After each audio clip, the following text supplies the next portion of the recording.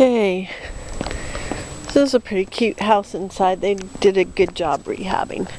Quiet neighborhood, backyard has views of the mountain. House is in pretty good shape. Got grass, so we know it's older. Forget the year, I'll have to look that up. So you come in, they put wood lamb, new carpet, everything's painted.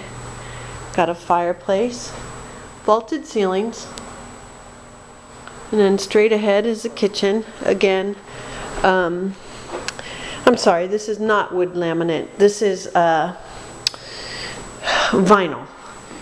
Uh, sorry. And the cabinets are in great shape. They painted them. Um, you got Formica countertops. Quite a few ceiling fans in here, although most of them don't have lights.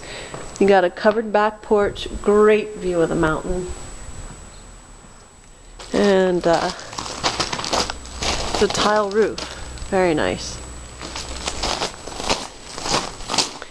You got access here to the front. Let's go take a look at the bedrooms. Lots of storage in here. There's where your fridge goes. It's a cozy little house. Laundry room. Again, the uh, vinyl floor.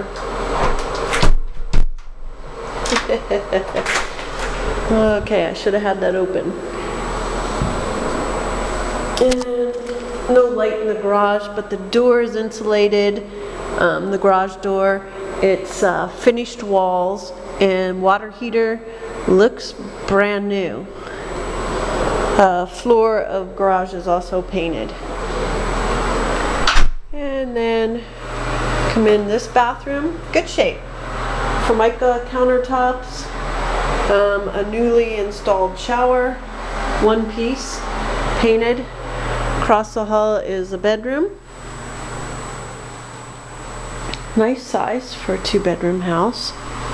And um, big master wow ceiling fan but I'd want a light in there. Um, big walk-in closet. And this bathroom again has the uh, vinyl floor and they put in a new shower.